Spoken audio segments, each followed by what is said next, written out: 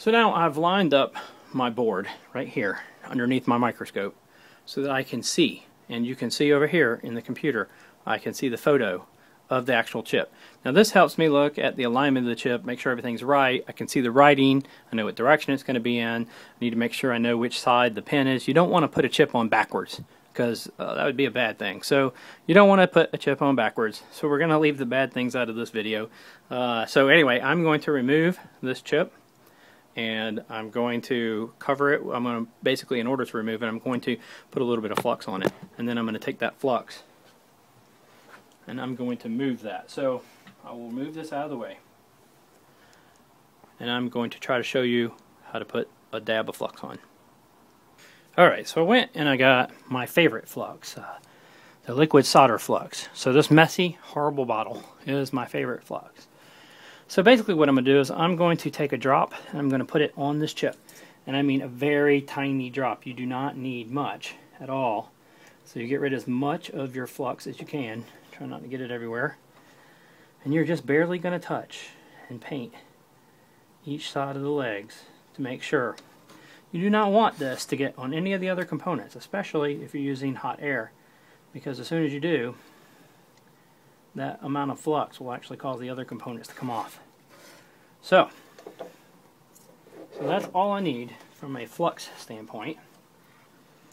So then I'm going to try to move my camera back into position and I'm going to try to take a look and make sure and you'll be able to see on the screen that it's just wet enough and that I've got just enough liquid on each side of the, of the chip for it to work.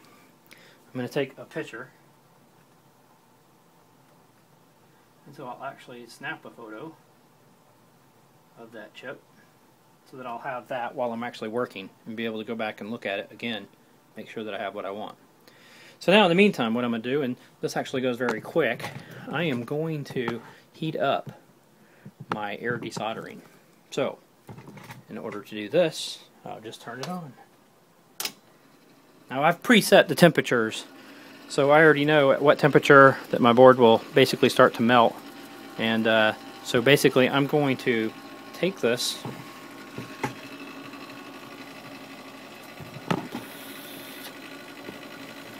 I'm going to I have a piece of metal with a hole cut out and that basically I can take this chip and put it right in there. And in a minute or so it will start bubbling and I will be able to remove this chip. So ultimately that's what I'm looking for, is to watch for this chip to start to bubble and then I can remove it. Now basically uh, it's been on there for about a minute and a half to two minutes and uh, now you'll actually see it's liquid enough I can pick up the chip cleanly and take it and put it down and then take off this board because it is hot. So now I have my chip. Now I've got to do the other board. So I'll do the same process with the flux and then I'll put that board on there.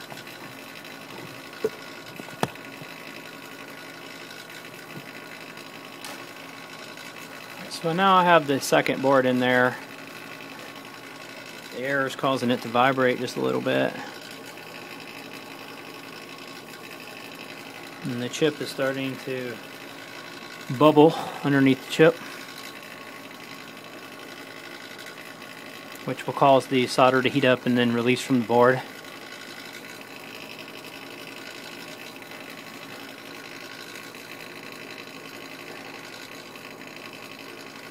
Not done yet.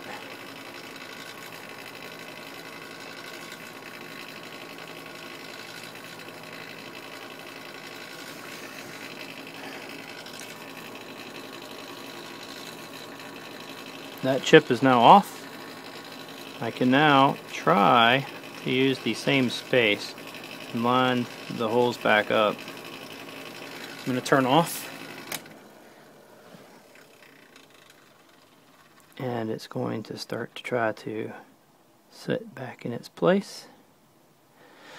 And then after that happens and it cools off for a second, I'm going to uh, going to put it under microscope, make sure the legs are lined up, make sure that it's accurate.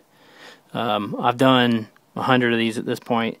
Uh, they've worked every time so far. Uh, I did a lot of practice ones. I probably did 12 or 13 practice ones before I ever started doing one.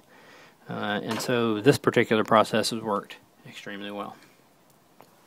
Now I have to say, uh, you know, this is now the board back under the microscope, and um, I've had, you know, quite a bit of practice uh, with these particular chips.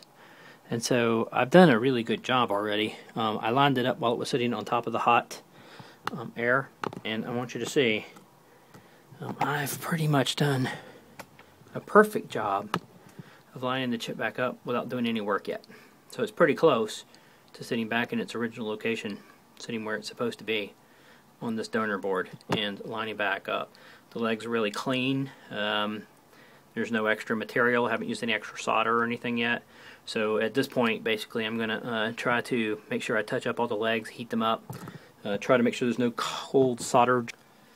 Now, one other thing I want you to note too is that when I do, when I come back to my solder station and I've put my chip back on, um, I, as you can see in the microscope now, I have better definition inside the microscope than what you actually see here in this photo.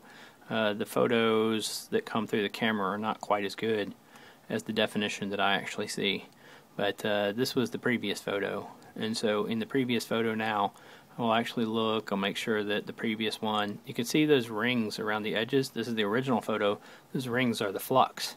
So that area there is what the flux looks like when you actually touch it to the board, and that was just a very tiny, small amount. But I want to make sure that I've lined the chip back up and that uh, I have the right orientation for the chip, and I have the words in the same direction, the right pin in the right order. Sometimes the chip will actually have a little circle or something on it. It'll be pin 1.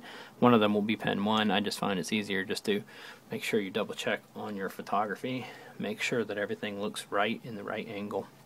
So, uh, so now I'm actually going to start going back over each one of the items inside the, you know, touching down each leg individually with a soldering gun, and then I'll show you from there what that looks like.